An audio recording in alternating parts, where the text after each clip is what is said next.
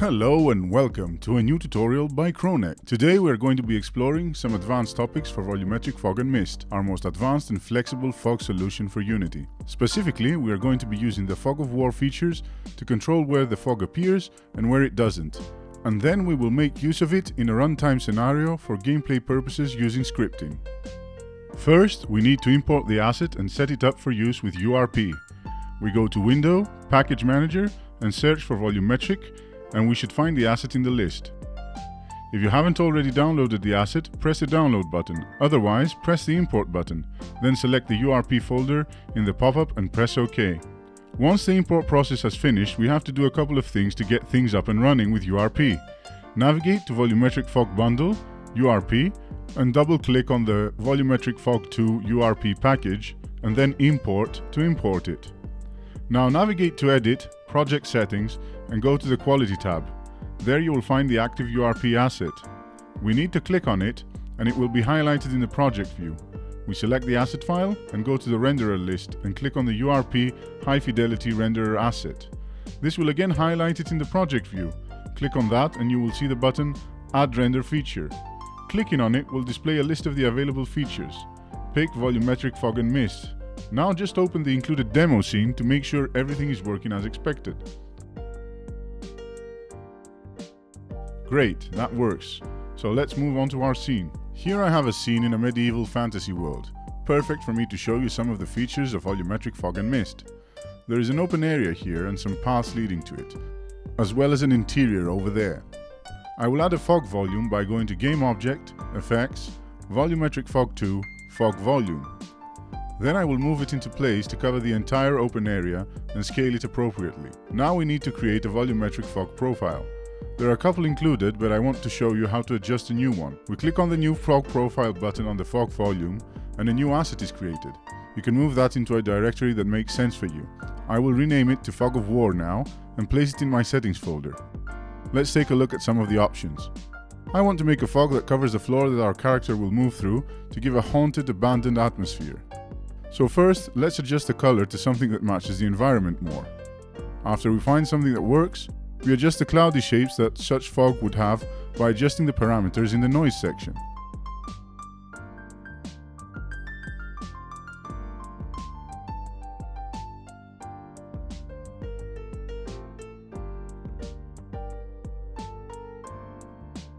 These are the values I think work with what I'm going for. But feel free to experiment with other looks and of course, save them as different profiles. I also like the Receive Shadows feature, it integrates the fog so much more into the scene. We can also adjust the speed and direction of the animation by changing the turbulence and wind direction parameters. And now we have something that I find fits my goal. Looking around though, in order to cover the entire area, it seems I have fog in places that it shouldn't be. Like here, floating in the air outside the circular buttress. Our fog shouldn't be there, we can control where the fog is by using the fog of war feature down here. We enable the checkbox and then a bit further down, we have the Fog of War editor. Now in order to paint where the fog is, we need to create a coverage texture, which is basically a mask that tells volumetric fog and mist where it should and shouldn't appear. Thankfully, we have a button and by pressing it, a new texture is made and assigned for us after pressing continue in the dialog box that appears. We also now have control of a brush that will allow us to paint out fog where we don't need it. Change the size of the brush. Depending on the size of your scene and fog, this may differ. Around 6 or 7 for this will do. Now let's paint out the fog around here. I can also remove it in these areas. And if I make a mistake, I can change the mode to Add Fog here. Finally, I want to make the fog smoothly fade out here near the stairs, so I will lightly remove some. So now we know how to bring and set up the fog, shape it however we feel like. But what if we wanted the character to interact with the fog? Well in this case we can dynamically alter the fog in runtime using scripting. First, let's check out what is provided with the asset. If we go into the demo folder, there is a Fog of War demo. If we open it, we can see that it alters the fog dynamically. So let's take a look at the script that drives this behavior, capsulecontroller.cs. We can see that there are some variables, the implementation of controls with the arrow keys, and then there is a comment with a tip and some code. What this basically does is keep track of the position of the capsule and only updates the fog every few centimeters instead of every frame. This also makes it so when the capsule is not moving, the fog of war isn't updated, ensuring great performance. So we will do the same, so copy this piece of code. We will create a new script by right-clicking here in the project hierarchy and selecting C-sharp script. Name the script appropriately. I'm going to be naming it player FOW. Open the script up in your favorite editor, Visual Studio in this case. In order to use the features of volumetric fog and mist, we need to add using volumetric fog mist up top. Then I will just paste the code we copied previously in the update method. Now is a good time to mention the online documentation and the section it has on scripting. The link will be in the description. As you can see here in the documentation, it is explained how to get a reference to the fog volume, as well as a variety of other properties and methods we can affect through code. Scrolling down we will find some information about the code we copy-pasted. As you can see there are some details on the parameters accepted by the method setFogOfWarAlpha. A world position and a radius or a bounds object or a collider. Desired alpha and specify if this value replaces the existing transparency or if it blends with it. The duration of the transition, the smoothness harshness of the border, the restore delay and duration, past zero to restore delay to make the change permanent. So now that we know what we are doing, let's go back to our script and add the variables needed to the top. There is only one thing we need to do, figure out which fog volume we are going to be affecting. In this scene it is 1, but we can make some changes to allow for multiple fog volumes. First some changes to the volume itself. We will add a box collider and turn on the is trigger option. Then we will add a tag for it. Go to tags, add new tag and name it fog. Then go back to the volume and assign the tag like so.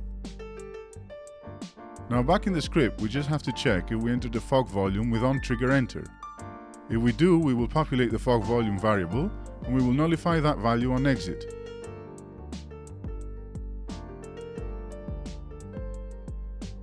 Finally, we will just add a check in the update method to only change the fog of war when we are in a volume. We can now test the game by pressing play. And voila! The fog is cleared when we move over it. We can achieve many effects by adjusting the fog parameters in runtime, which brings me to the bonus part of the tutorial. It's hard to miss Elden Ring, the latest Souls-like game that has topped the charts. The inspiration for the environment and character controller in this scene is very clear I think. One of the most iconic visual features of the series is a fog wall that sections off the boss arena, usually obscuring what is behind a door. A fog of door, one might say. We can easily achieve a similar effect with volumetric fog and mist. We just have to enable one feature in the Fog Manager to make it possible. So we go to the Fog Manager, Shader Options, and enable Fog Volume Rotation. Now we can make a fog volume and place it here in the door. Rotate it 90 degrees and I have created a profile for just this occasion. So we click on the slot and pick the Fog of Door profile. You can check out the settings here or make your own version. Let's check it out up close by playing the game. I wonder what's on the other side now. So that's it for today. We went over how to import volumetric fog and mist, customizing the volume and using fog profiles, clearing fog using fog of war, clearing fog using scripting, and making a fog of door for our games. Don't forget to like and subscribe for more tutorials by Kronnect.